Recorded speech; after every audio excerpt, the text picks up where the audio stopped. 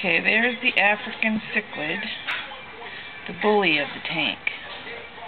The one who feels like it's his job to boss everybody around. Consequently, he chases after most of the other fish. There's a gourami. I think that's how you say it. And there's there's an algae eater or whatever the correct term is, I don't know. There's another African cichlid in here somewhere, hiding. Here he is.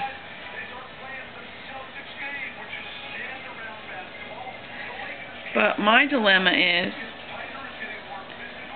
in, I don't know if you can see it, but there's a actually a glass flower vase that I put in there to the rear right of this giant guy.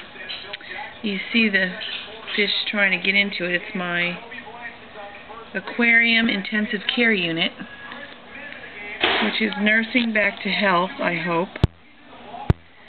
The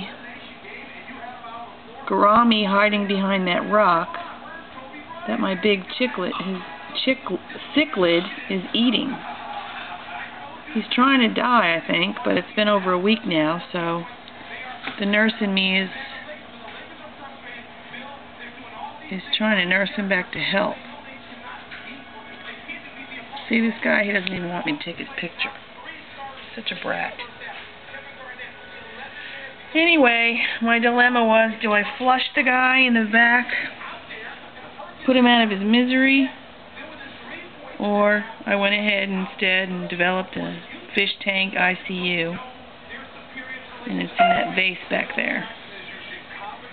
So he can hide in comfort, be fed his own private meals, and still be able to share in the comforts of filtered and aerated water, I hope.